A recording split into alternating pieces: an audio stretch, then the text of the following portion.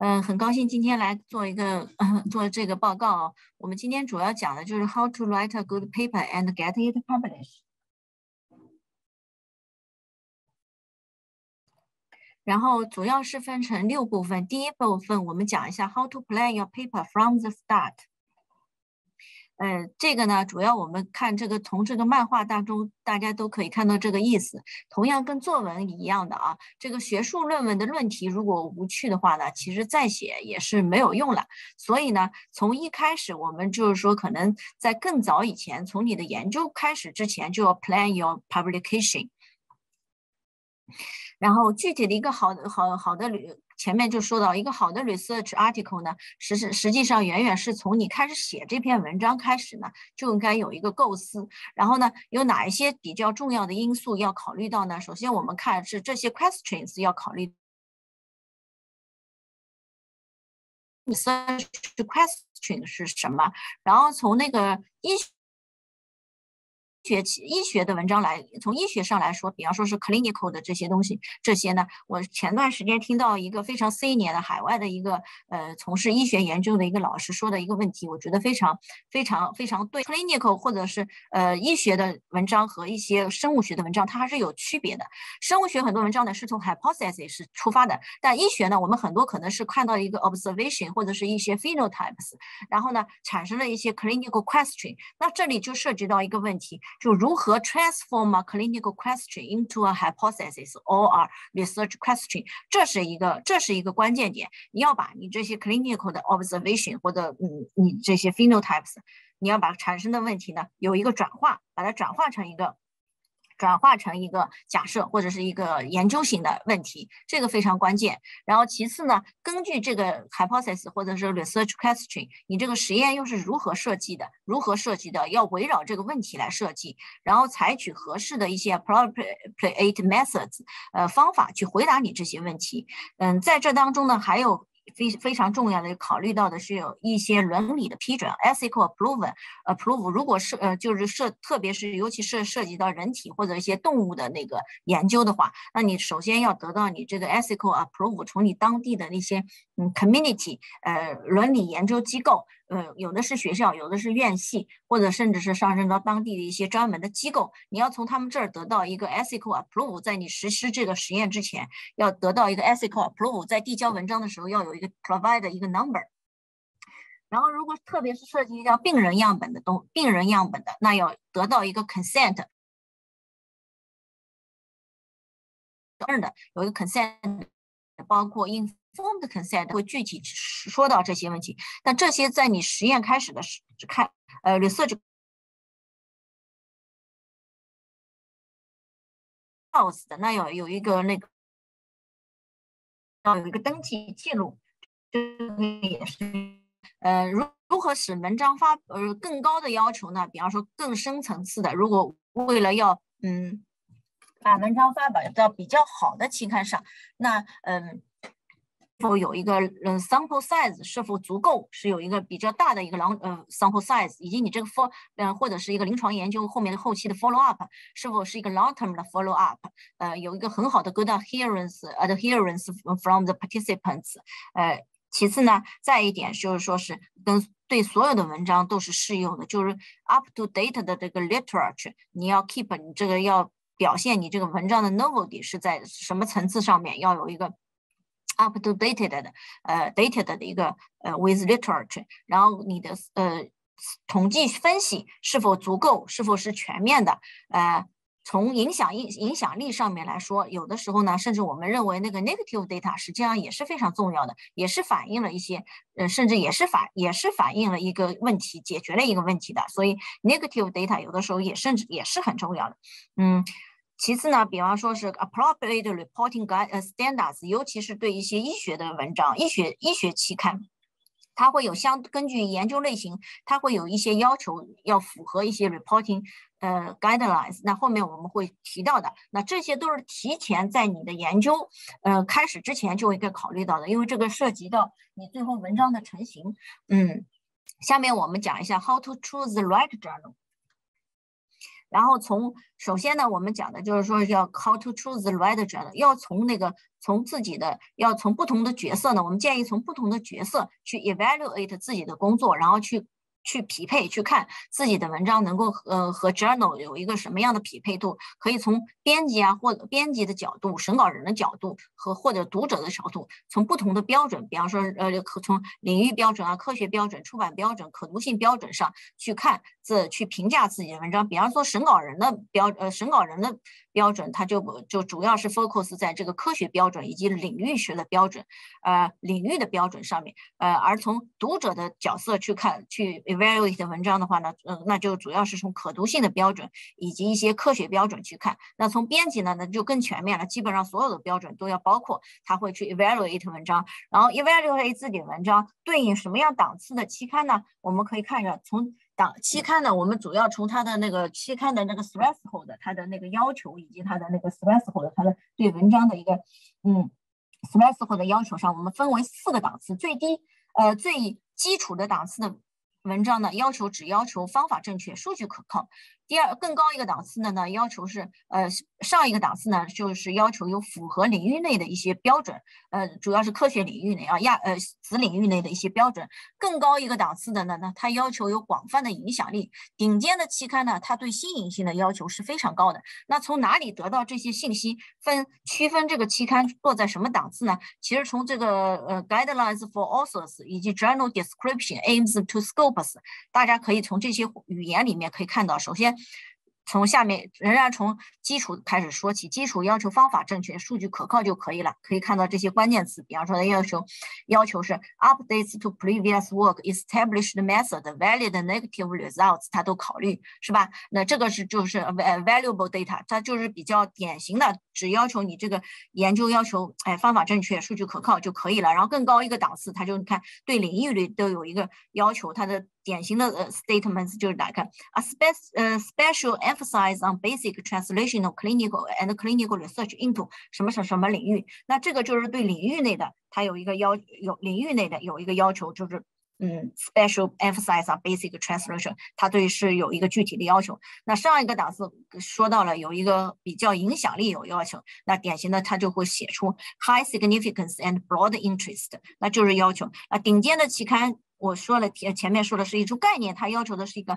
概念性上的新颖性，提出了一个新的知识点的概念，或者推翻了我们以往的认知，那就呃看可以看到这个顶尖期刊的它 description 是怎么样的，unusual significance of broad conceptual，嗯呃是呃 all technical advance in all areas of life sciences，这个就是一个要求对新颖性有一个非常要求的，有个通用的，然后是非常呃非常。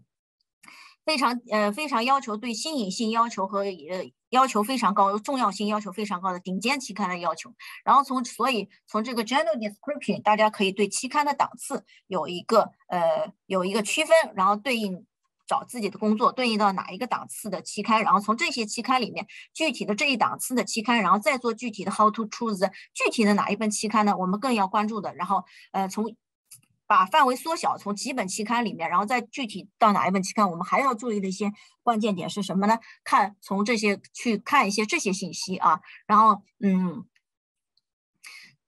除了前面，然后从那个 threshold，从 description 里面知道了 threshold，然后我们可以看一下它的 impact factor 具体是多少，然后它这个呢是对嗯具体的。某个区域有一个影响力，还是全球的，它都有一个 visibility。然后，它的 publishing 呃 publishing model 是什么样的？呃，是传统的订阅模式啊，或者是 hybrid journal，就是混合型的，呃，既有订阅又有 optional 的那个 open access 的选择，还是全 OA 的一个模式？呃，它是个 publication，嗯，它的 publishing model 是什么样的？然后它 peer review model 同行评审的模式又是什么样的？是单盲还是双盲，还是一个？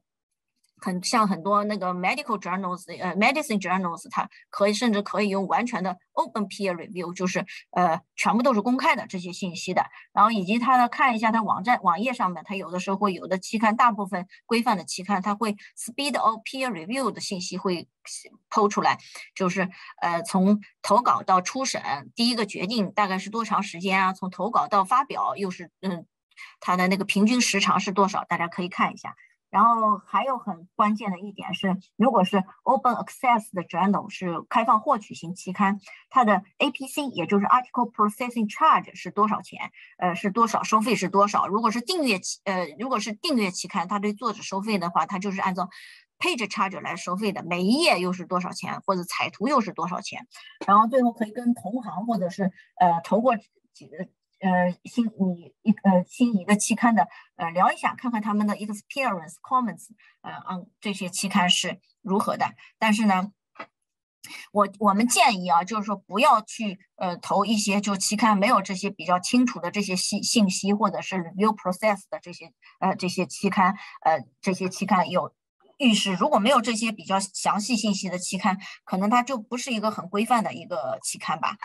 嗯，如果有任何的疑惑，可以很多出版商呢都有相应的一些呃期刊推荐的一些 A P P 的平台，那可以写信给这个平台呃平台询问。像 Sage 我们就有一个 Sage Journal Recommend，输入你的 title 以及 keywords 以及一些嗯。Abstract 的相应的相应的一一 impact fact 的期望的这些值信息，它就会推荐你的给几本推荐期刊。然后还有一个，我们像 Sage 有一个 Sage Pass 这个平台，是它会有一个点对点的一个 free of charge 的，甚至一个 service，就是说如果投投了那个呃投了。这个是呃 pre-submission inquiry，然后呢，对应的他就会把这个 inquiry 给对应相关的期刊的编辑，编辑 evaluate 以后，他会给一个反馈，推荐推荐呃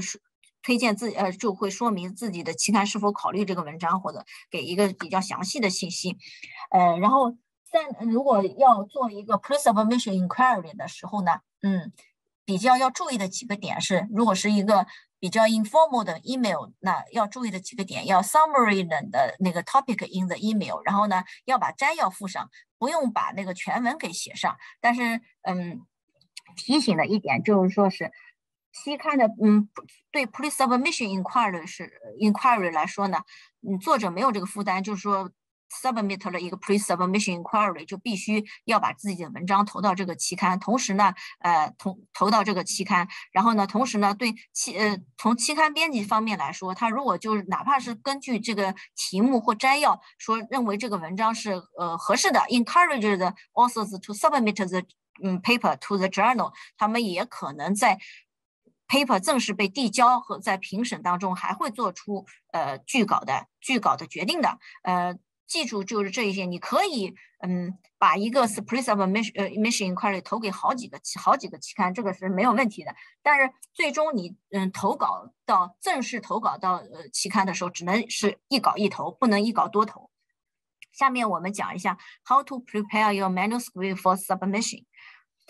首先我们提醒一下，呃说一下是呃 public 呃 publishing ethics 啊。呃，比较规范的呢，publishing ethics，像这些这些下面列的这五项都是比较 misconduct 是不规范的一些呃呃写作的，比方说 pleasure 剽窃人家的东西，剽窃剽窃，然后以及呢，呃 duplication submission 前面提到了一稿多投，呃这个是这个是嗯不符合出版出版伦理的，然后以及呃你呃以及一些作假作假数据以及呃作假数据作假图片，呃。还有一些，比方说 authorship issue，一开始在投稿之前没有解决这个问题。呃，有一些作者，有一些作者，作者的那个排名和作者的贡献是不不不相符的，或者是投稿的时候大家没有有一个公认的肯呃公认的 agreement，就是说这个作者排序啊，或者是呃呃不能够 approve 这个 submission，这些都是不 ethical 的，呃不 ethical 的一些操作，嗯。更多的一些关于 publication ethics 的呢，可以参考一些那个 COPE guidelines。呃，后面我们会提到啊，会举例说一下这个 COPE guideline COPE guidelines。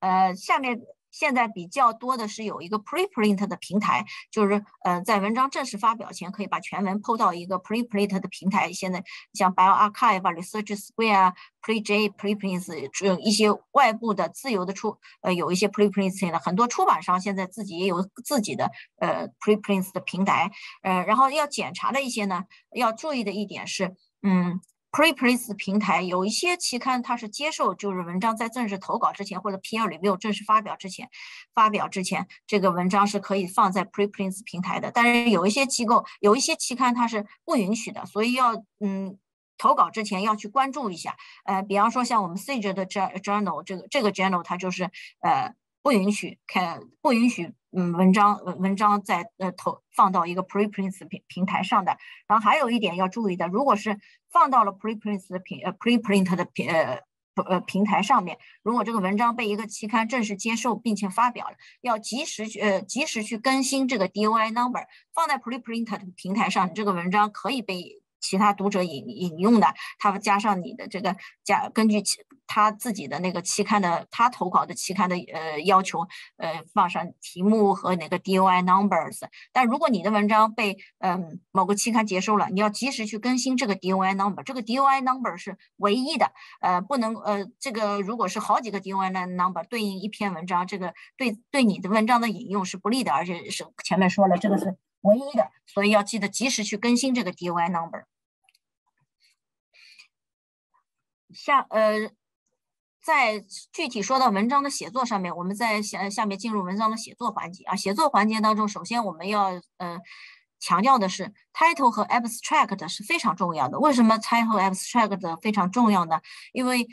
Majority people will only read your title and abstract。那这个 majority people 主要是针对的是谁呢？主要针对的是审稿人。编辑在收到你的投稿的时候，他是能看到全文的。但是如果编辑决定你这篇文章可以被送审，然后呃，他要邀请审稿人或者邀请他的 editorial board members 去 handle 呃 handle 这篇文章的时候，他给予的信息就只是给给出的信息只是一个 title 和 abstract，所以他 title 和 abstract 写的好不好，很大程度上决定了被邀请的审稿人或者被邀请 handle 您 handle 这篇文章的那个编呃编委或者外部的这些专家老师们，他。根据你这个 title abstract，他是否同意接受这个邀请去做去做这些事情？所以，去呃，所以如果是嗯这个过程很长的话，那显然会 delay the process of your manuscripts。所以写好这两部分是非常重要的。title 要给予一个 concise and simple 的 informative 呃 informative 的呃信息，然后呢必须呃呃必须反映了你这个文章的主要内容。然后 abstract 里面必须要包含的是哪些信息呢？你 background 呃。以及它你这个实验是怎么设计的？实验室设计的简要说一下自己的设计，然后 sample size 大具体是多大？前面已经说了，当然是 sample size 如果是 enough 或 enough 的，那肯定是对这个文章是很有帮助的。还有用的统计学方法，因为要给判断一下这个统计学方法是否合理。统计学方法是什么？然后 summary of the key results 要有要有几句话。最后一两句话，concise conclusions and specific recommendations，做一个总结性的说一下这个呃，你这篇文这个研究的意义是什么，然后 indicate 了什么什么什么呃 significance，这么一两句话总结一下，做一个总结，嗯。大部分期刊呢，现在有就是说是这是四个部分，有的期刊会要求把这四部分 sub 呃 subsection 作为一个作为结构清楚的分析啊，有的期刊不做要求，它就是一个混合性的整体。但要明确的是，这四部分结构在你的 abstract 里面都要有所体现。呃，下面其次强调的一点，不要不能出现的是什么？这个我们在在那个收到稿件的时候也经常看到这样的错误性。首先最重要的一点是。不要有 abbreviations。我们收到很多稿件，一些 junior 的 author 他会用 abbreviations 在这个 abstract 里，这个是不允许在 abstract 里不要用 abbrevi 呃，不要用 abbreviations，也不要有那个引用 reference reference，呃，然后提醒还有一点就是没？不要有 disc 呃，不要有 discussion，嗯，discussion 留到后面。然后建议的是最后这个 abstract 写到可以留到最后最后写，因为这是它的非前面说了很重要。然后呢，可能到最后写会有一个比较清晰的思路，呃，清晰的思路可以写，呃，清晰的思路如何写好这个 abstract。然后 overall 的 structure 呢，主要是大部分文章呢，就是说主要有这几步。这几个部分，但是呢，可能根据文体的不同，它会有不同的要求。有个，比方说，有的 report 它就只要求那个有那个 conclusion，它它只要有四部分：introduction、methods、results 和 conclusion，就不不要求有 discussions 了。那现在很多期刊它要求的，比方说 research article，它不要求有 conclusions，有一个 dis 有前面四部分就可以了。呃，但是基本上是主要这这这这四个部分啊，然后。这个就根据我前面说的，就是根据文体不同，那你就要去看这个 submission guidelines，非常仔细的去看一下，你这 guidelines 它每一种文体要求的是呃哪几部分要求的是哪哪几部分，还有就是 make sure 你 correct the reference style，呃，你这个引用的它引用的 in text citations 和以前后面的那 reference，呃。Reference orders in style 具体的要求是什么样的？要做正确的一个格式格式。然后呢，嗯，你的图片的指还有一些呃 guidelines 口里面会写图片要求的清晰度是多少啊？然后 figure 和 table 是怎么样的排列？是如何呈现更清楚？嗯。嗯，然后最后呢，要 make sure 那个 reference 啊、figures 啊、tables 啊都是被正确的引用的。然后在的 order 呢，在根据文呃根据期刊的要求 order 的。呃，你的 manuscript 是呃语言是好的，没有任何没有任何很严重的问题的。你只有 follow 你 follow up 的这个 guidelines，然后 make sure everything，然后你的。make sure everything，然后做一个投稿呢，会加速你这个稿件的处理。因为很多期刊现在在前端的时候，它会设一个呃审稿之前，在编辑做一个审稿之前，会有一个 technical check 去检查具体的这样，比方说是你这个文体的结构是否排列是否正确啊，然后你的图片上传的是否清晰啊，保证到编辑的手里或者是审审稿人以及 handling editor 的手里，你这个是 readable 的，是合理的，是规范的。嗯，如果你这些不清楚，少一个图啊，或者是你的 reference 也不能，很可能会引起如果很严重的问题。如果主要内容还可以，那有一些期刊会影响它的你这个 scientific problem problem 的 presentation 呢还可以。如果是严重影响到你这个呃科学问题的主要内容的陈述，比方说你图片都没有上传或者根本就打不开，我们经常也碰到这些问题，有有的时候也碰到这些问题。作者上传的图片太大了，没有按照按照要求上传，在。最后合成 PDF 版本的时候，根本无法打开。那审稿人或者是审审稿人或者是审稿编辑根本就看不到这个图片，那可能会就会造成一个 rejected immediately 这样的结果，非常浪费时间啊。这个就是说，呃，所以要具体的要先读 guidelines，根据要求检查再上，再再 finalize your submission。然后 in 我们具体讲一下部分 introduction，有的时候也叫嗯。background，这是这也是一个非常重要的部分。为什么呢？编辑很多，他他并不是像呃像我们这样的编辑，并不是某个专一领域的专家。我们更多的是要通过，就是说是。比较广广泛的，从根据呃需要通需要，这是编辑首先读的部分。我们需要通过 introduction 或者 background 去了解你这个领域大概发展到了什么的什么样的阶段。这所以这是我们会 read first 的的部分。然后从 review 的角度来说，reviewer 他是嗯。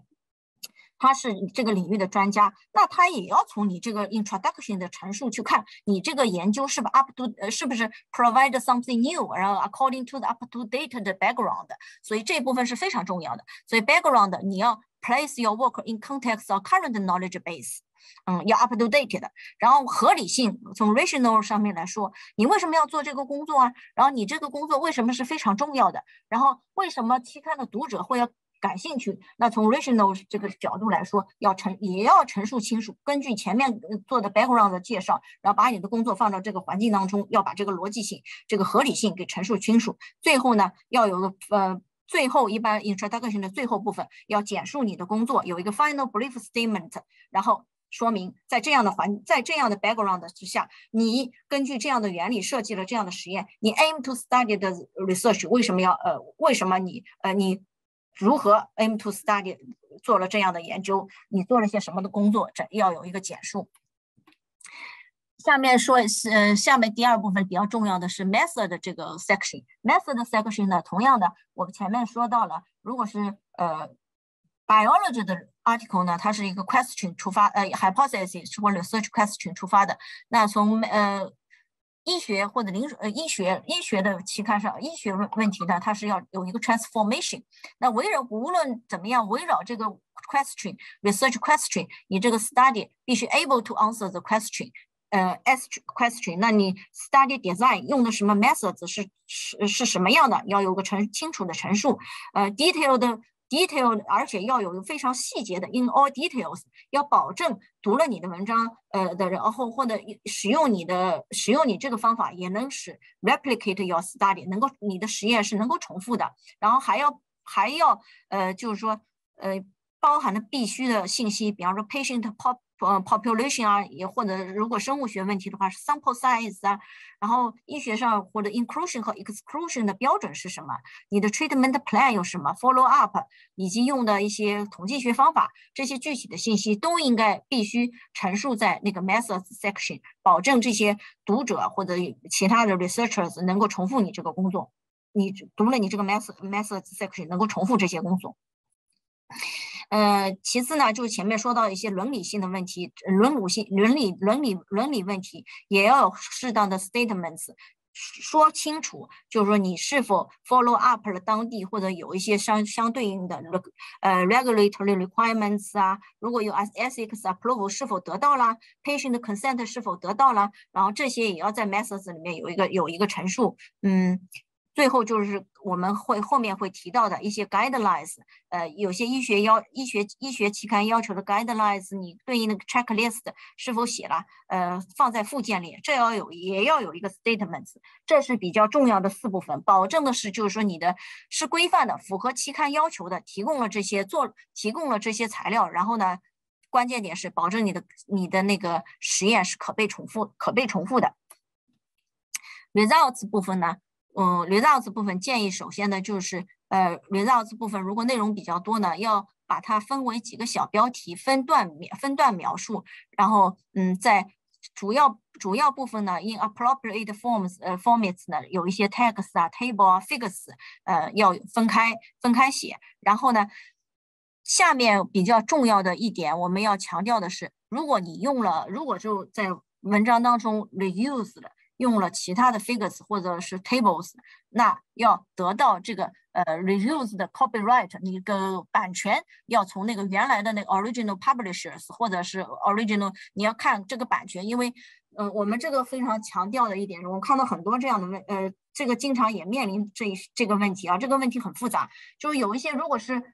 传统的 subscription 就订阅型期刊，它的版权一般是在出版商这儿。如果是 OA 期刊的的话，它的版权相对会宽松一点，是嗯做了，一般是属于那个作者，但是他作者签了共享协议以后，共享协议他会，但是共享协议也要看具体的共享协议它会有什么样的要求，是 CC BY。它会有 C C 不同的那个共享协议的标准的，有的共享协议它要求可以随便使用，有的共享协议要求，比方说只能你可以使用，但是不能修改。这个版权是非常复杂的一个东西，你要必须弄清楚这个版权是从版权是否合适。有的时候我们面临经常遇到一些问题，作者直接用了这个图片，哎，我们要求要要版权的时候，他然后他就就他就去看这个版权，版权一看，哎，这个版权只能。使用两年，那他发在 O A 期刊上，两年之后他这个文章难道撤稿呢？不能用了吗？这个这个这个这个这个就会产生这个矛产生这个矛矛盾了。还有的就是说版权，它要求你不能修改，只能靠呃只能 copy paste 用这个原图片，而且要给予就是说大部分要求给予 appropriate statement，说明你这个图是从哪篇文章来的，appreciate 谁的贡献是都会有具体的要求的说明，所以要。搞清楚，必须 get permissions from reuse the copyright to the material material。这个版权要弄清楚，不能不能就是直接拿来使用，这会影响这个文章发表。如果是已经发表了，会引起很多的毛问题，呃呃其后的问题，那非常麻烦。还有一点就是医学期刊很重要的一点是，呃，get permission。我们前面说了，在研究之前。其实就建议你要把这个从那个病人手里得到应得的，你这个 consent，呃，要得到。如果我们这个情况也是非常多见的，很多你问他了，他说，呃，他说 consent 啊，他都不知道自己要得到这个 consent，然后 retrospectively 去问做呃那个病人的病人自己，或者如果这个病人过世了，他从他的亲人这儿再去 retrospectively 的得到这个 obtain，呃，得到这个 consent，嗯。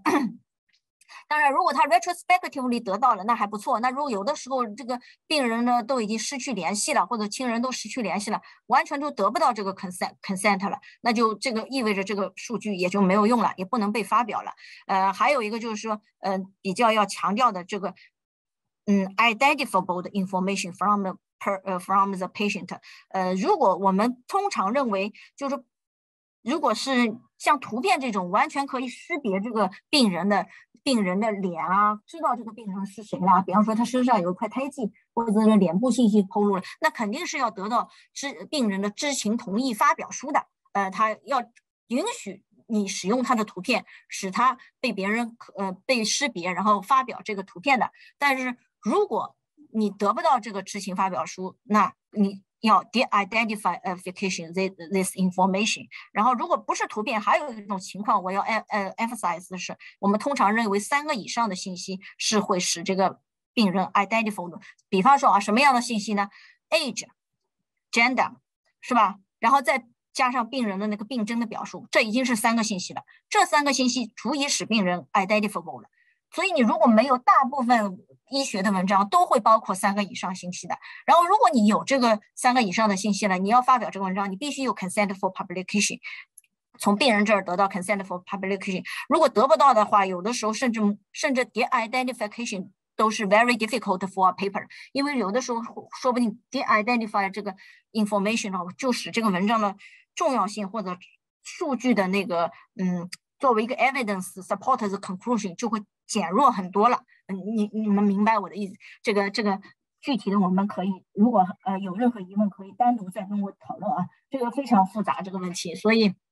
这些在这些在研究之前就应该准备好。对，这个非常影响你最后文章的文章的这个呃写作的。然后 discussion 部分说到了，discussion 部分呢，它是呃要。也非常重要。大部分基本上所有的 research article 都会要求有一个 discussion。然后你发现了什么？然后你在当前的这个嗯，当前的这个 literature，这个 current literature，你这个 results meaning 又是什么？又是什么？这个要在里面陈述些。然后根据现在的研究的状况，你这个呃 input 什么？嗯，你的研究嗯 provide 什么 new knowledge 或者 advances or contribution compared to the current study？嗯。有什么进步性的要陈述清楚， 然后还有要比较求实的要说说呃说明的一点就是说是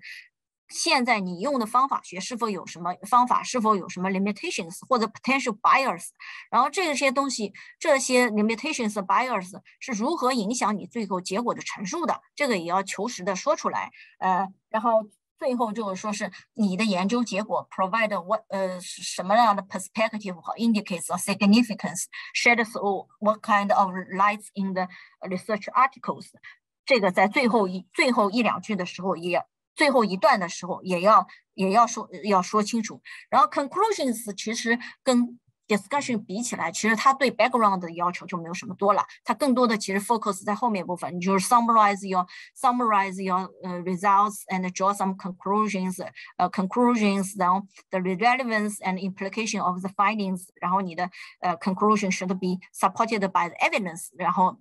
by the evidence，evidence，呃呃，注意的一点就是说是不要。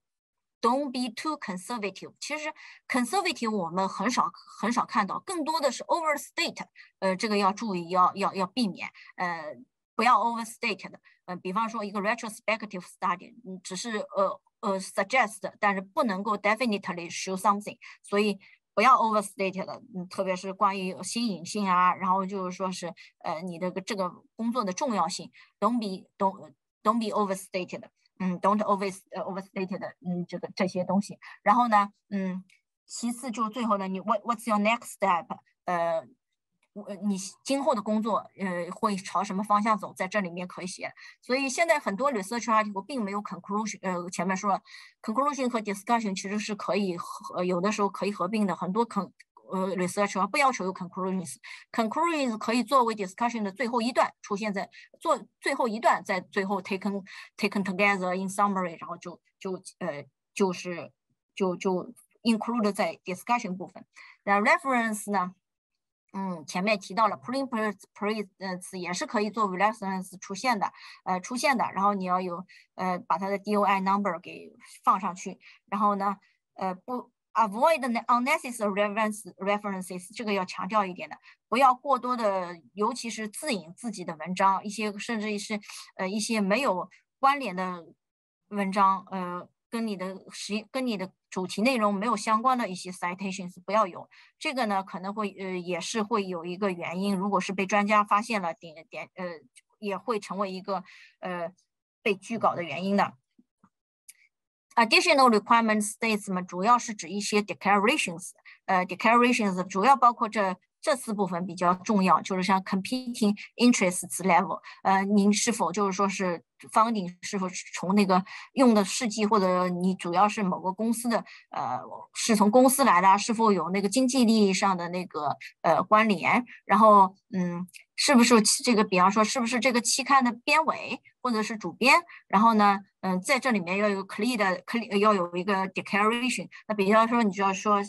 编委，那你就说明我是这个期刊的编委，然后我没有参与到这个文章的呃同行评审以及 editorial decision 的过程当中，全都没有参与，这是一个比较典型的呃比较呃比较典型的比较 clearly 的一个嗯呃 competing interests 呃 declarations，然后 funding 是否有 funding，就算没有也要有这个 funding 的 declaration，那你直接就写上没有 funding，嗯一但是一定要有这个 declarations。Acknowledgement，呃，如果有一些根据那个期刊的要求，就是说是对作者贡献，根据作者贡献来是否能列列为 authorship，然后基本上是认为，如果是他贡献不足以列为 authorship 的，那有一些人。你就必须在 acknowledgement 里出，甚至审稿人也可以啊。审稿人，比方说，哎，我的审，你如果觉得审稿以后这个审稿人对你的文章 improved 很大，然后你其实也并不知道这个审稿人是谁，然后可以在 acknowledgement 里感谢一下我，这个本其他的审稿人对对 improve 的这个嗯 manuscript 最终 get published，呃，这是 acknowledgement 的一个，嗯，也也要有一个 acknowledgement。然后是 ethics consent statement 前面在 method 里面和 research prepare your research 里面都提到了，在 declarations 里面要有一个清楚的陈述，比较典型的清楚陈述。这本研究是否得到了什么什么什么呃伦理委员会的同意，是吧？呃，好，然后 pre 呃然后 provides 呃伦理委员会同意的这个 ethical approved number。要 provide 这个 number，然后是不 follow up 什么什么呃 guidelines 或者呃 conduct 呃行为标准，这个也要出写的。然后 consent 是否哦呃这个或者呃如果是涉及病人的 consent 是否 consent 是否呃 was obtained 呃 obtained from the patients 这句话要清楚的要要清楚的要写明的是 oral has written consent，这个就是。这个都要在那个 additional statements declaration 里面要有清楚的陈述。Right，嗯，下面说一下这个 cover letter，cover letter 也很重要，但是 cover letter 不等同于 abstract。嗯，abstract 前面说了是审稿人和那个 handling editor 都会看到的，但 cover letter 很重要的是为什么只有编辑能够看到？呃，编辑能够看到，然后所以你这封信实际上是是写给编辑的。那应不，嗯，首先呢要说像什么 scientific questions，嗯，you are addressing，嗯，在这篇研究里面，然后呢 key findings 又是什么？然后第三点要特别告诉编辑的是什么？为什么编辑要说服编辑？为什么要考虑你这篇文章？因为你这篇文章从哪些方面满足了这个期刊的 target 的 audience？然后这句话非常重要，这是一个，这是非常重要的一个点。然后呢，这个不会出现在 abstract，但是在 cover letter 里面，这是一个非常重要的一一个一个核心。你要告诉说服这个编辑，为什么你的他要考虑你的这个文章。然后还有一个信息要给告诉这个编辑的是，你这篇文章是不是被邀请的？是，比方说是被编委邀请的，或者是某个专辑的呃专辑的组稿编辑邀请的，那你这个要告诉他。然后是否呃是否 submitted to 一个呃系列的和或者一个专辑的这个信息也要在 cover letter 里面出现。呃，is there any additional information？嗯，should take into account，这个也非常重要。什么样的叫 additional information 呢？这个是给编辑看的，因为我前面说了，你这个只给编辑看的，不会给同行评审的人看的，也不会 handle IT 的。他们是那些领域的专家。如果你在这个领域里面有竞争对手，那这个时候这些 com competing interest，你可以跟这个编辑说，就说，哎，我嗯希望排除谁谁谁谁这些审稿人或者哪些哪些专家，因为他跟我有那个竞争啊，这些你有这个 concern。呃，然后告诉这个编辑，编辑会考虑的这些因素，所以这个这一点是非常重要的。呃，旁边是一幅比较典型的 template，大家可以保存一下啊。然后，嗯，还有一点要注意的是，要 make sure you include the correct journal name。我们有的时候也会不是，也不是偶尔啊，也看到过好几次了。有的这个作者把这个文章投过其他期刊了，被拒了，然后又换换一本期刊投的时候，他就忘记改期刊名了，然后 在 cover letter 里面我们就可以看到，哎，这个 甚至还留着以前那个期刊的期刊的名，这样很不好啊，就这个呃，所以要 make sure you include the correct journal name。呃，下面非常嗯要讨论的一点就是说是关于那个呃人工智能在那个写文章当中的使用，Chat 这个大家都很熟悉，Chat GPT 啊，最近很很很火热这个话题。然后跟很多呃，我们就以 Sage Journal 来举例来说，呃，这个我们 Sage 的 policy 跟大部分大部分期刊其实是类似的，就是说我们认为呢是。可以使用这个 large language models generative AI tools in writing writing the submissions 的，比方说 summarizing 啊，paragraphing 啊，language polishing，这没有问题的，嗯，可以辅助写作。但是呢，作为作者，必须呃要注意的一点是呢，首先要 clear 的 clearly indicated，然后你用了这个东西，用了这个，在那个 method method 或者呃呃在尤其是在 method 推荐在 method method section 要说明你使用了这个工具，然后呢，嗯，也要承认啊，就是说要承认这个 limitations of the language models in the manuscript。然后，比方说你认为有一些 potential 的，呃，有一些哪些方面 potential bias 啊，或者 errors 啊，或者 gaps in knowledge，呃，会出现使用这个工具。嗯，最重要的一点是，就是说是 AI，你这个 chapter 的 G GPT 不能被列为一个作者。这不能列在 authorship list，呃，authorship authorship 上面，呃，他不是作者，呃，这个跟大部分期刊现在目前都是这样的，嗯，这样的 policy，就是可以可以在 method 方法里面写明用了这个呃声明用了这个东西，但是 ChatGPT 不能列为作者，嗯，最高，据我所知，现在目前最严格的是 Science 的 journal，Science journal 是完全不能使用，嗯，就是不允许使用，连嗯。连写作辅助都不允许使用，更也不能使用作为作者。但是 Science 的 editor 他他们自己也在说，这个是会随着这个是目前是这样呃规定的，但是或或者随着时间的进展或者事情的发展，他们可能也会做一些 policy，还是会做一些改变的啊。呃，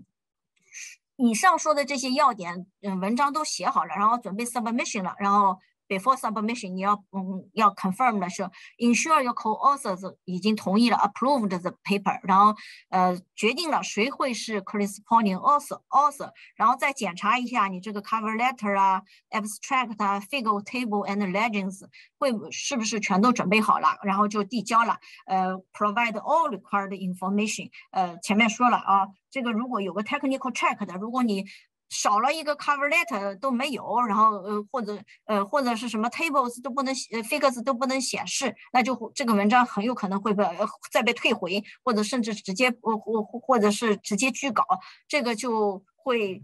嗯造成你这个文章的延误，甚至有的时候呢，期刊编辑说是期刊编辑呃如果是小小的问题的话，他自己看看要琢磨很久才能搞清楚，但是也会就是说是。使这个进程变得非常慢，所以做好这些信息是会加快你这个文章的整个加快你这个文章的处理的过程的啊。下面讲一下 how to use guidelines on reporting research 这个，嗯，尤其是对于医学期刊啊，我们现在以医学期刊，因为医学期刊像比较。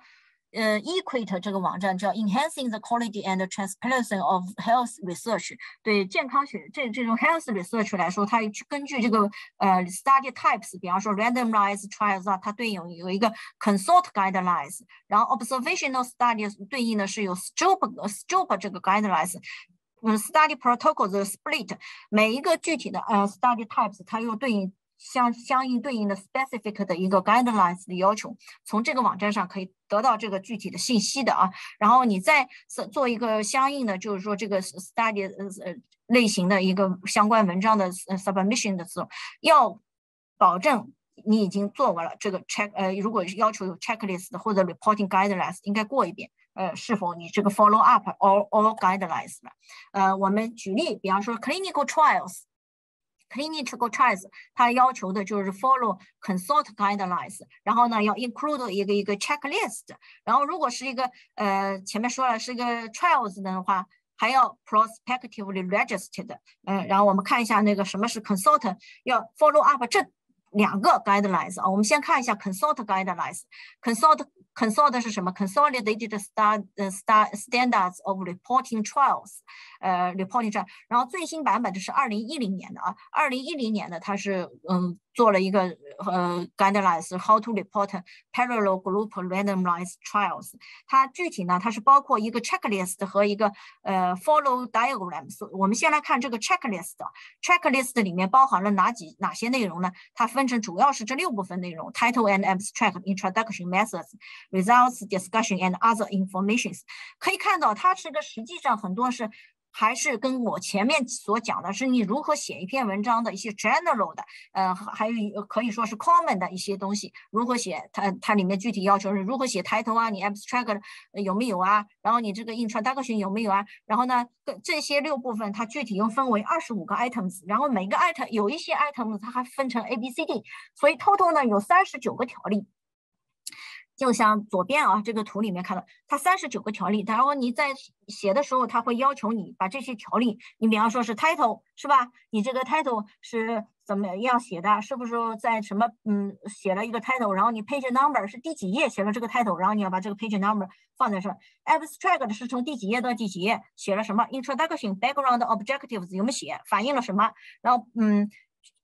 有一些具体的要求，reporting reporting 呃 terms 是什么？它你符合了这个，然后你检查一下，然后把 page number 呃写在填在这个上面。然后这个就是呃我前这里就具体的啊，你看可以看 methods 里面写了 trial decision participants 是怎么样的，outcomes 又怎么样的，sample size 是怎么决定的呀？然后你具体有具体大不大呀？呃是怎么样的？randomization 是怎么分的？你 blinding 是怎么做的？然后。呃，是具体的是在哪一页，然后把这个信息放上去。那你的文章要 note 的一点是，文章不必所呃把所有的 items 都 addressed。如果有一些你是觉得是不需要、不必要的，not applicable 的，那你就写个 NA，然后 provide a short explanation，呃，explanation。然后最终的时候呢，像这个 checklist 的生成以后，你是要把它作为一个 extra file，呃，extra file 跟着你的文章的呃每。没 file 一起递交递交给期刊的，大部分期刊递都是要求有这个东要求有这个的啊，特别是加入 consult 这个呃 consult 的这个期这些期刊。那像 follow diagram 呢，主要是写了这个 progress of objects 呃 objects through the trials，你这个呃 randomize 怎么做的？n 等于多少呀？然后，嗯，具体分组的时候，每一组又是多少？Follow up 的时候，每一组又是多少人啊？呃，discontinued intervention 具体又是多少人？呃，reason 又是什么？这是一个等等，呃，等等，这是一个你这个流程图的一个表，嗯，流程图的一个表。然后要强调的一点，就像我前面说的，consult 呢，它是一个出的是一个标准，是一个建议性的东西，它呢不是建议你这个，嗯。怎么样写作给你这个文章提供的？它并不是它的本意呢，并不是说要改的你这个 clinical research 是怎怎么做的。所以，嗯，所以说呢，就是说是，呃，这是它相当于有点像一个免责声明啊，就是说你这个研究研究，它不是说要改的你这个研究，它是帮助你这个写作做一个做一个做一个呃 develop development 的。它是只是 describe how to report the completed work，而不呃和得到这些结果，但是没有任何建议你在实验的设计上啊或者实施啊，然后分析结果上是怎么样，它并没有这样这些，它是它它只是对写文章做一个建议，然后呃，而且它的它并不强制要求你这个 clinical trial 必须按照它这个严格按照它这个 format 来写，因为目前来说呢，有四百多个 journal 它是呃。加入这个 consult 的这个呃，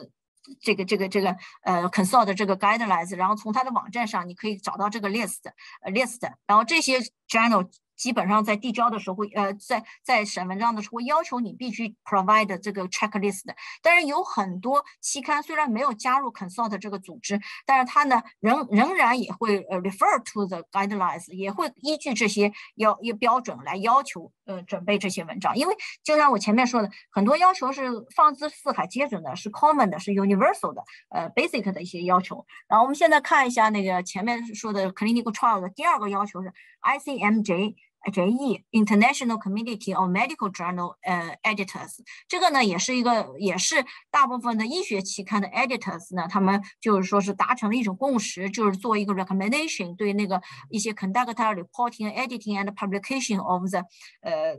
work in the medical journals 做了一个 recommendation，然后前面一些东西其实。 和大部分期刊的这些 editorial requirements 啊，这些嗯 policies 都是相符的，rules or responsibilities 啊，然后这个 publication 呃 issues 啊，这些这些具体的条例以及那个 clinical。唯一要强调的一点就是，比方说是 specific for the medical journals 的，我这是想强调的就是大家关心的，也就 clinical trials。那 clinical trials 说到的这个 registration 前面也强调过了，要做 prospectively 的 registration，你不要等到研。但是这个呃呃要做一个，还有个关于 data sharing 的，要有一个 statement。然后呢，嗯，在或者是你有一个 data sharing plan in the trials registration 的时候，就要有一个 data sharing plan。这个在在 trials registration 的这个是最新的，二零一八年以前的，只要有个 data sharing statements，呃就可以了。但是现在基本上都是要求在你做 trial registration 的时候都要有一个 sharing plan 的。呃，这里我说呢，就是说这个 registration clinical registration 呢是是是。前面说的是主要帮助那个，就是说 reporting the research outcome，prevent unnecessary duplication of research efforts，efforts 呃什么等等啊。但是建议是要一最好是要 prospective。现在大部分期刊都是只接受 prospective 了，只有少部分期刊还接受就是说是 retrospectively 的 registration 了。这是这是目前的一个状况啊。然后还要强调的一点呢是，呃，第二个就是。Secondary data analysis of primary clinical trials should not be registered as separate clinical trials. Trials secondary data analysis，比方说一些 retrospectively 的呃回顾性的研究，你把以前的这个数据得到的 clinical trials 得到的数据，再回顾性的再分析研究一下，这时候就不不必要再去做一个 trials 了，你就把就可以把原来的那个呃 trials number 给 provide。 比较宽松的，现在认为 retrospective study 不需要 registration 啊，这是不对的啊。其实从这个 ICMJE 的那个条例上，我们强烈推荐的还是要把以前的都所只要是 clinical trials 都要做一个 registration，然后哪怕是 retrospectively，只要涉及人体样本的分析研究等等等等，也要把原来的 registration number 要 provided，要 provide 要提供的。然后最后要强调的一呃一点是，这个 ICMJE 是 encourages that use but has no authority to monitor or enforce it，这一点也非常重要。就是就是说，所有我前面说的 reporting guidelines 或者这些东西，就只是都是推荐，都是 recommendations，是 encourage 我们去使用作者或者是我们编辑是使用这些标标准，但是都不是强制性的，也没有也没有任何 authority 去 monitor 或者呃。 Monitor it 是 to enforce push it push 任何人去必须执行这些标准。为什么我要说到这一点呢？这个这个这个有的时候很多编辑或者有一些期刊他会呃，我觉得不是特呃，就是说是会说，哎，我们是呃什么什么组织的 I I C M J E 的。嗯，期刊，你们必须有的，必须必须怎么样？呃，这个不是这样的啊。专业的说法，任何 guidelines 或者出版的标准，出版的这个行业它是很多 multiple 呃 stakeholders 的，包括作者，包括包括读者，包括出版商，大家都是在这个 cycle 里面的，都在这个 loop 里面。任何 guidelines 是只要是关于 publishing 的 guidelines，对任何 stakeholder 都是有要求。都是 recommend 的，所以这一点大家是要去呃，这一点我我觉得还是要 emphasize 一下的，就是 use。然后为什么呢？我们作为前面有一些更多的，我们在更多的很多 editor，你们听到的可能是他对 guidelines 对你作者写文章会有什么要求，对你这个读者有什么呃作者有什么要求，但实际上对作者对出版商同样也是有要求的。那我们从如果从作者的角度来说，也可以 use guidelines，choose the right journals。这里举这一举举一个例啊，就像呃是从呃 Plus One 上面发表的一，二零一五年发表的一篇文章。然后呢，在二零呃二二年的时候，因为呃就是说是嗯听到一些读者的反馈或专家的反馈，然后呢他们的编辑成员就要求对这篇文章做出撤稿，然后通讯作者呢就表示了的表，通讯作者做了一个反驳，他陈述了当时做这个研究的呢时候是遵守当地的法规，也遵循当地的指导方针来实施的这个实验，呃。但是最终呢，Plus One 的编辑团队，呃，还是说必须按照最高标准道德来执行。鉴于上述道德问题等等等等等，最后还是撤回了这篇文章。然后编辑们很遗憾，在最初的审稿过程中没有解决这些问题。那从这个案例分析上，案例分析上面呢，我们来看到的是，我想强调的是几点啊。首先，作者说的这个，按照从作者的角度来说，他实做这个实验，呃，做这个做这个呃研究的时候，遵守当地的法规。遵守当地的呃，遵循当地的指导方针没有错，这个从很多 medical journals 上，我们是有这个要求的，是 clear 的。你在哪里做的实验，遵循当地的法规，不能跨国，不用跨国，是吧？当地的方针，作者这个是很有理的。然后呢，从 plus one 的 editor 的说，不认为他前面第三点看到了啊，嗯，这个是这个二氧化碳的使用与物种出现有关，不认为是可接受的安乐死方法。他引用的是第二条，第二条是一个法规吗？我们来看一下第二条。第二条是发表在 Official Journal of the European Union，是发表在一篇期刊上的一篇文章，并不是一个法规，也不是一个 guidelines，也不是公认的一个 regulation。regulation 对吧？这个理由我不认为是合理的一个理由，而且是当是并不是实验实施是当地的，是个 European Union 的一个 journal。这篇文章发的也是发的也是从那个当地的 the European 呃。是在欧洲的一个法规，对吧？并不是，并不是国际性的法规，也不是实实验实施当地的法规，只是一篇文章，这是一个存疑，这是一个问题。然后呢，从法律上来说，我们有个不溯及既往原则，英语就是 the law does not operate retrospective，亦称为刑法无溯及力。法律上既然有一个不溯及既往的原则，这篇文章二零一五年发表的，你二零二二年还能要求撤回这篇文章，是否合理？这是另一个问题。那么第三个问题就是，我可以说是 COPE 前面说的 COPE guideline 是什么？COPE 是 Community on Publication Ethics，这是遵循一个透明原则的。这个透明原则是什么呢？同样适用于要求出版商的。可以看到这个方框内的这个这个条例写的是，Journals instruction for authors should explain the journal's policy on the publication ethics and describe the 呃 circumstances under which article should be might be retracted。你这个 policy 在你的网页上，在你的这个期刊的是那个 instructions for authors 应该 clearly 呃 clearly 有这个条例说清楚的。至今我去看过 Plus One，也没有任何关于水和氯醛或者二氧化碳的使用。呃，这这个是是他们是否考虑这个文章？呃，是否这样的文章不再考虑，或者跟如果是考虑这个呃呃，因为这个还可以撤稿，没有任何这样的 policy，也没有看到任何这样的条例。你看，然后看下面比较规范的做法是什么？蓝色的可以看到，Cardiovascular Research 在二零一六年的时候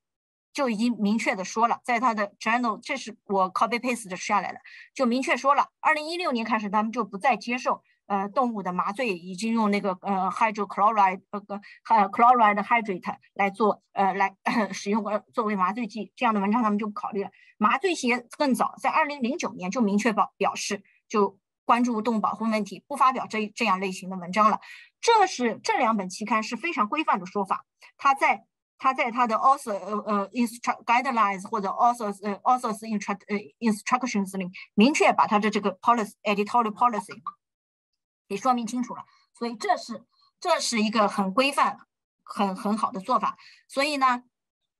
作为作者也要了解清楚这些 guidelines，凭借这些清楚的从。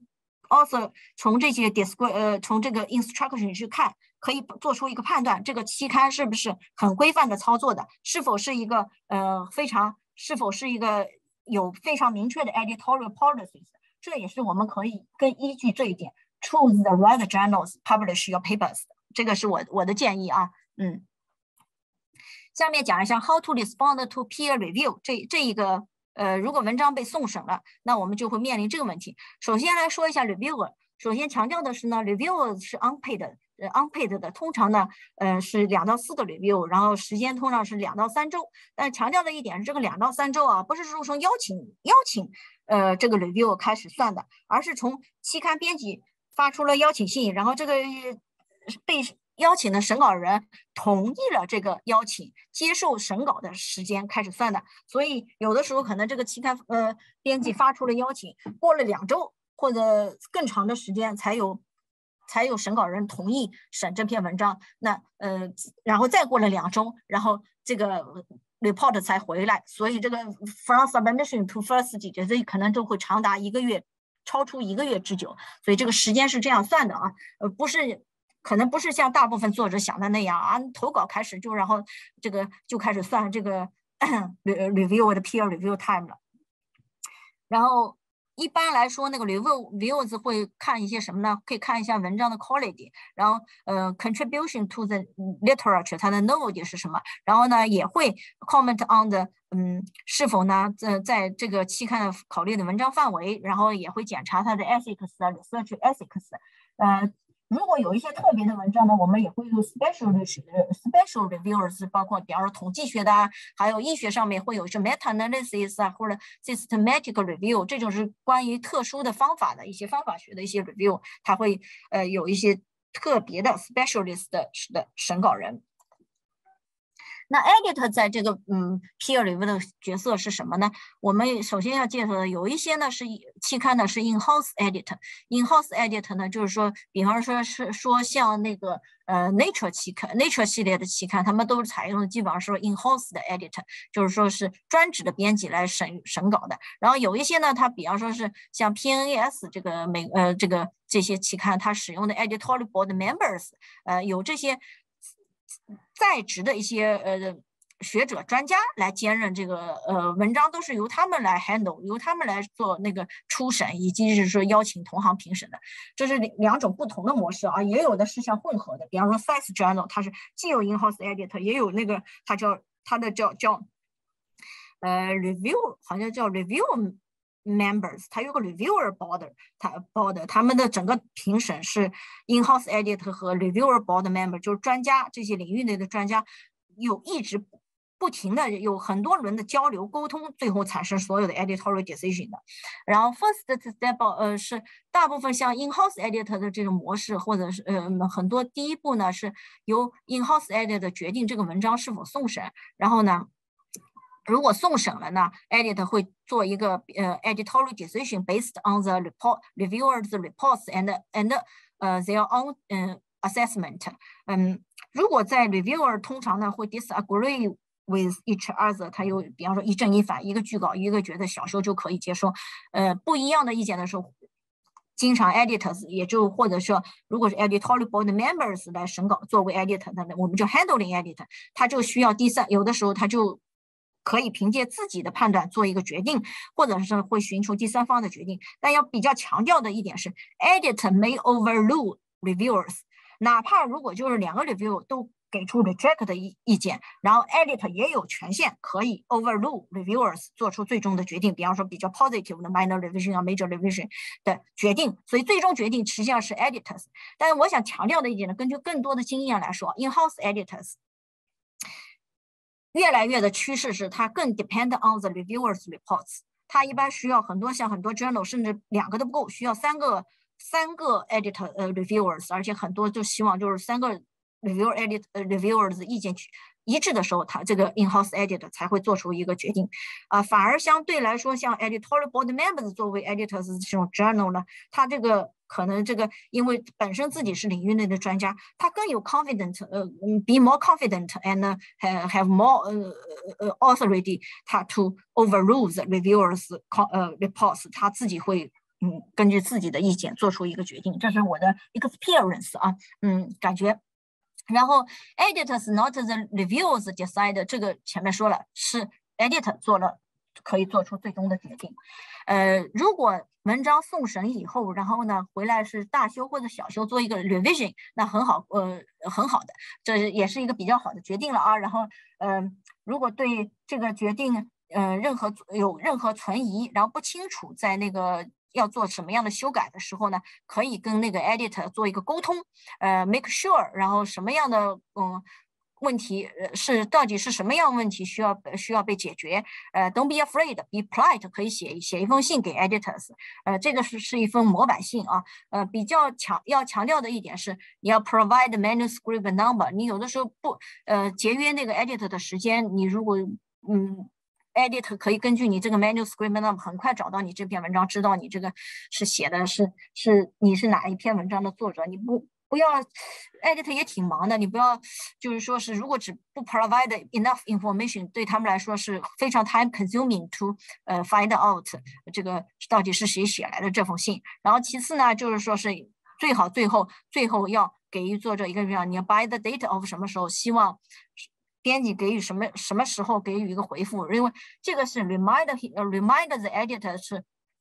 做出一个 schedule，编辑也很忙，然后每天处理那么多稿件。比方你告诉他，哎，我希望什么什么时候，呃，得到你的回复，那他会，嗯，做一个合理安排，嗯，合理的安排，在这个时间点之前给予给予回复，嗯。然后在修改的当中呢，要做一个 full and concise point by point response。然后下面是三三个啊，首先要有一个那个回回信，你的 response letter，呃呃 introduction，你做了这个做了修改了。第二个，在那个要 point by point response 呢，要有一封这个呃 file，嗯，这个信怎么回复呢？要注意把用颜色或者是用不同的字体，把你你的回复和 review 的呃 question 给区分开来，方便。Edit 以及 Reviewer，嗯，看，呃，去审审核，然后在原文当中呢，也要 highlight 你的 changes，嗯，track the changes，highlight them，呃，方便也，呃，呃，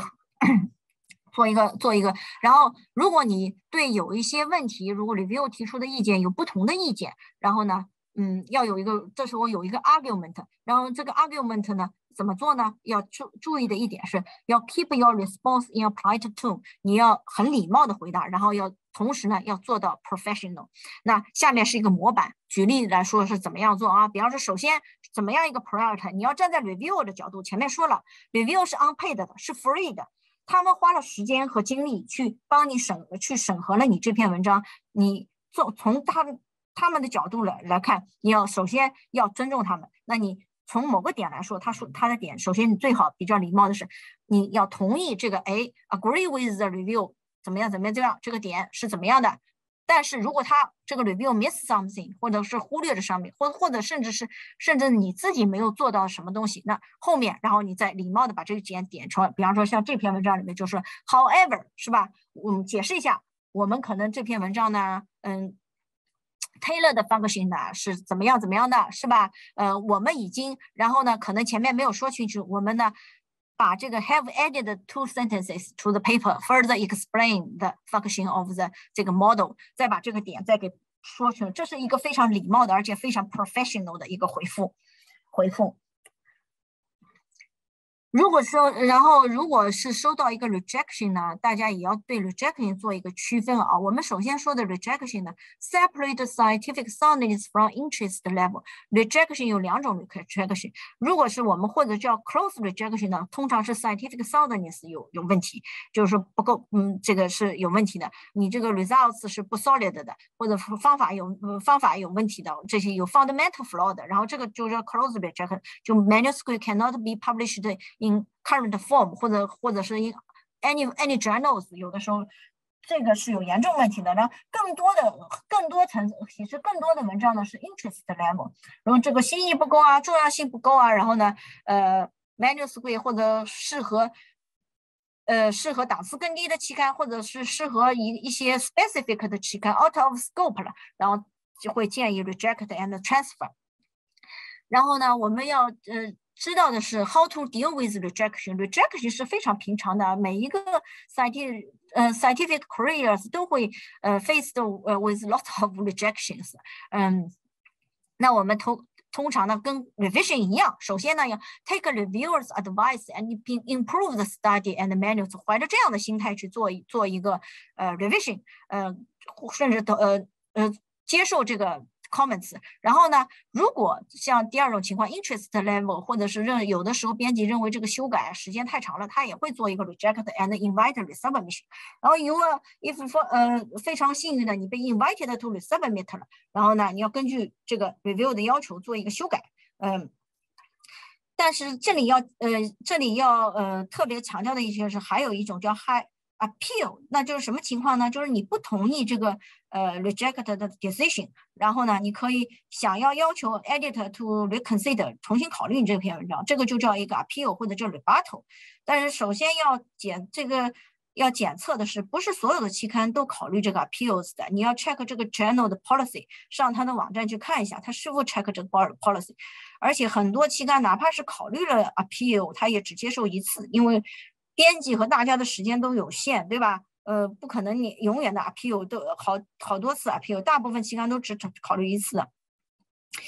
还有要说的就是说是不要 send 一个 appeal decision 或者是 letter immediately。immediately，你要 leave enough time to calm down。为什么要 leave enough time to calm down 嘛？要冷静下来，要把不要太情绪化，去把那个 appeal 的信变成一个情绪的发泄。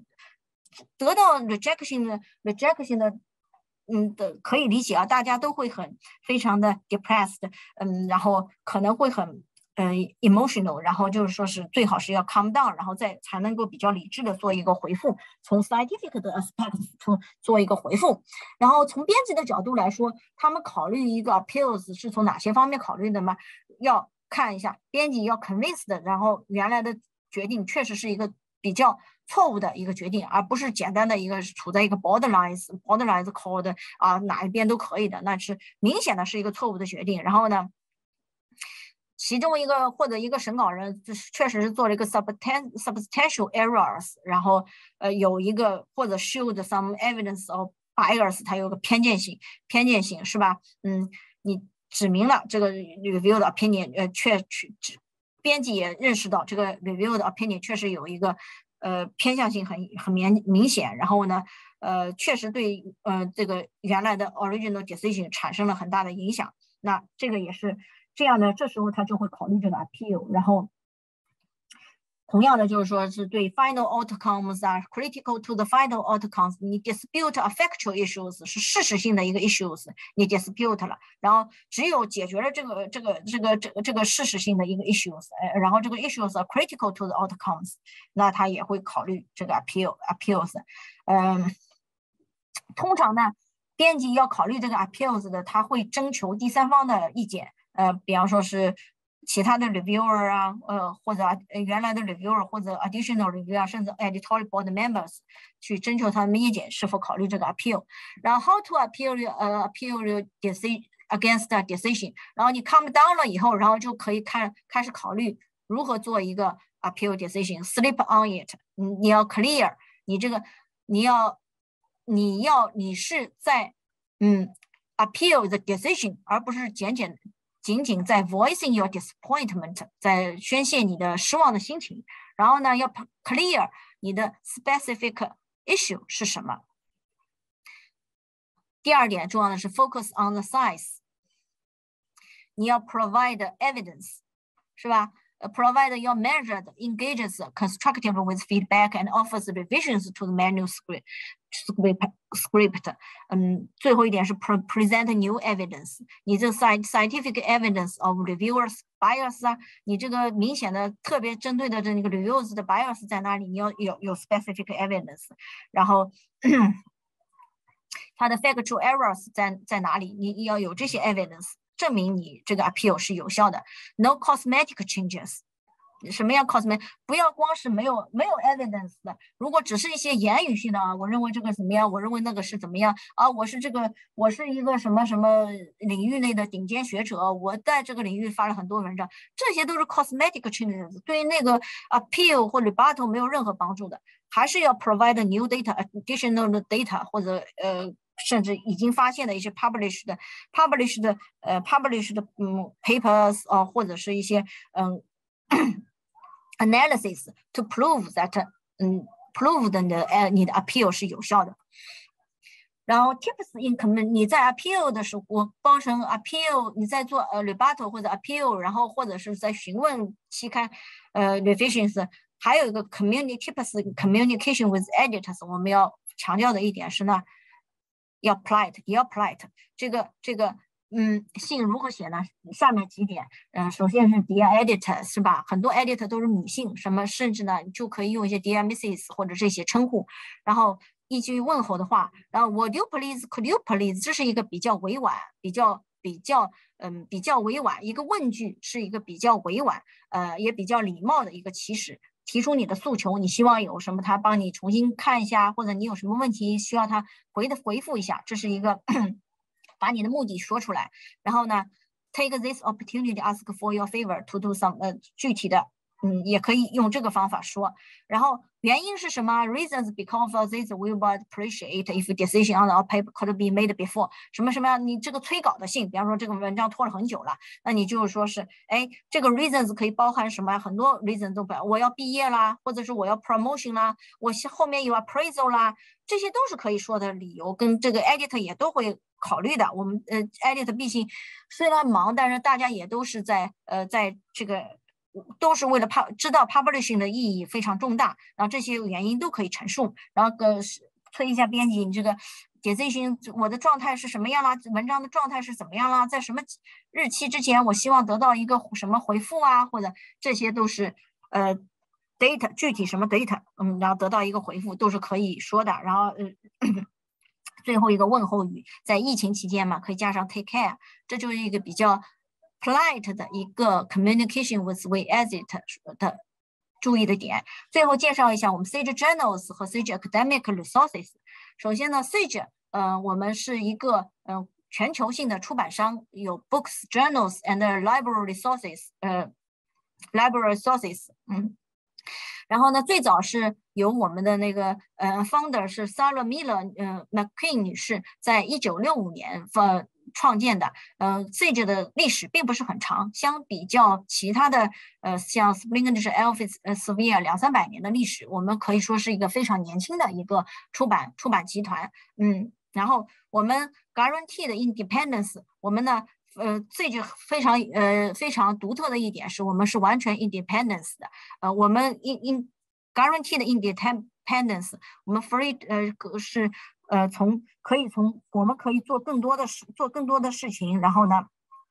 可以 work together building lasting relationship with the with the 呃 teaching and 呃呃 with others and thinking long term，嗯，为什么是这样呢？因为我们 make new 呃 make 我们的 founder，呃，Sarah 米勒女士呢，她已经在那个把她的那个 control of the company to a group group of trustees charged with maintaining our independence，就是我们的 我们呢永远不会就是说是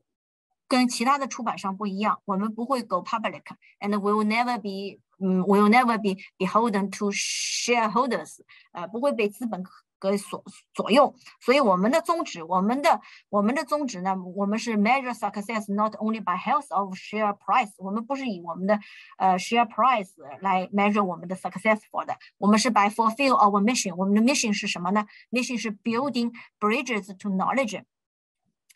呃，架起知识的桥梁，这这才是我们的使命和我们的宗旨。嗯，这个是我要 claim 的一点啊，非常重要。不同于其他的出版商，我们更关注于我们的 mission 是架起知识的桥梁，而不是追求经济利润。嗯，Sage 的 publishers 呢，我们现在有一千一百多本期刊，然后呢，呃呃，四百多本呃呃四百多本那个合作期刊，然后有有六百多个每年出版大概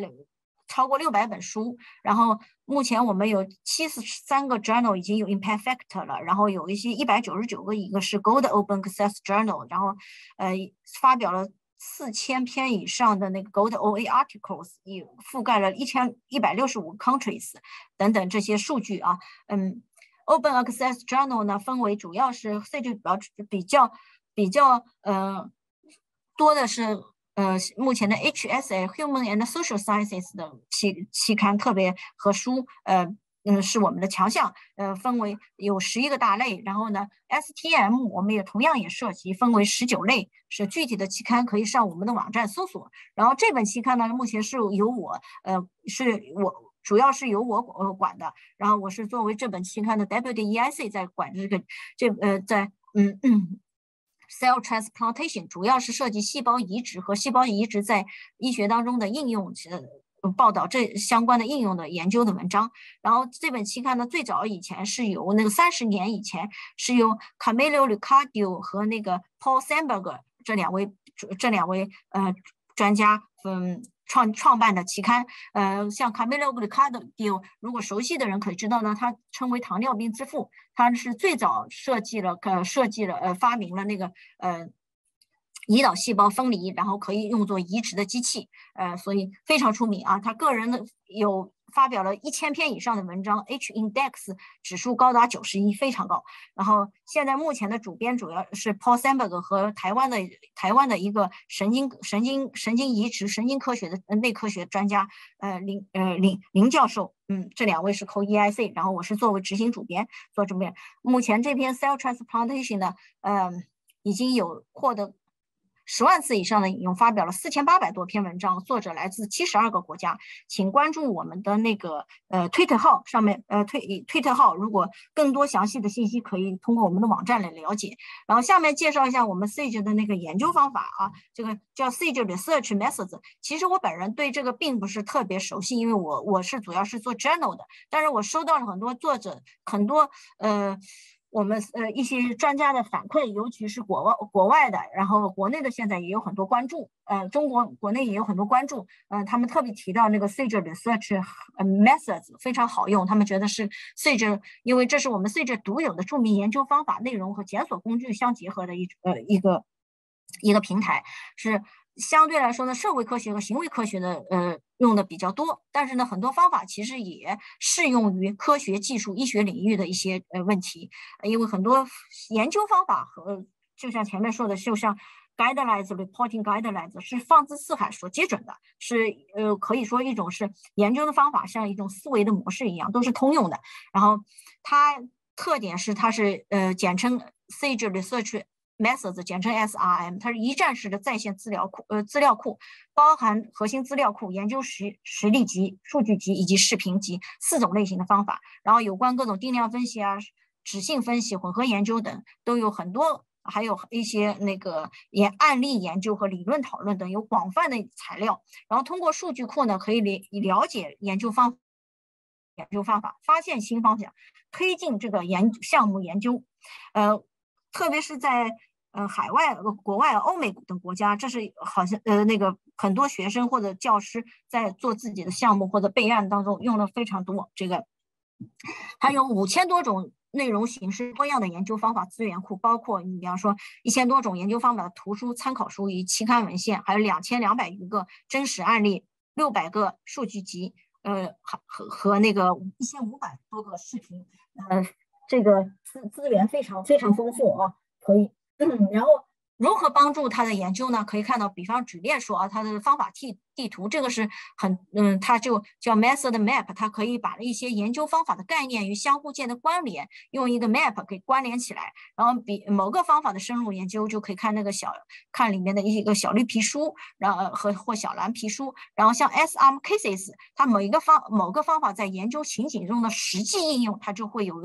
非常详细的一个阐述和分析方法，还有自己的 database 以及 videos，甚至以。不仅是以文字体现，它还有 videos 的视频集，然后实际研究中运用的研究方法，它会视觉化的给展现，等等等等。这这个就是，这是一个资源库，它的内容非常丰富，而且展现的形式也非常丰富。好，谢谢大家，今天我的报告就到这里。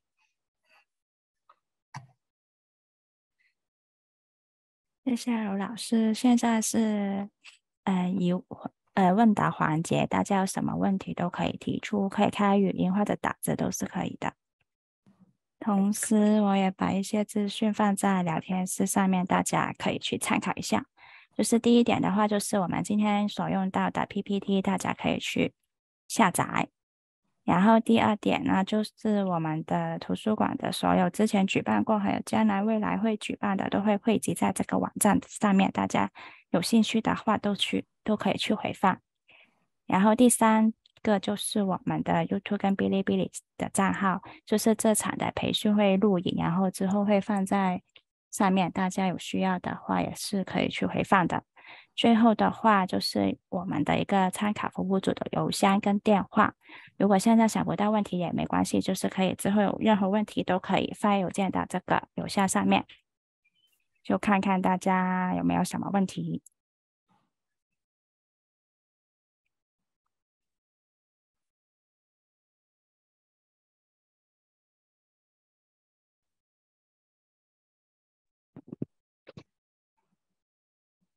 好像大家都没有什么疑问，没关系。然后我们明天呢，同样时间也是三点，还有一场是也是关于论文写作的，是我们邀请到 Emerald 的编辑来分享，欢迎大家来参加和分享给其他同学。好的，如果没问题，今天的培训就到这边哦。那谢谢大家的参与，谢谢刘老师的分享。好，谢谢。好的，谢谢。再见，各位。再见。好。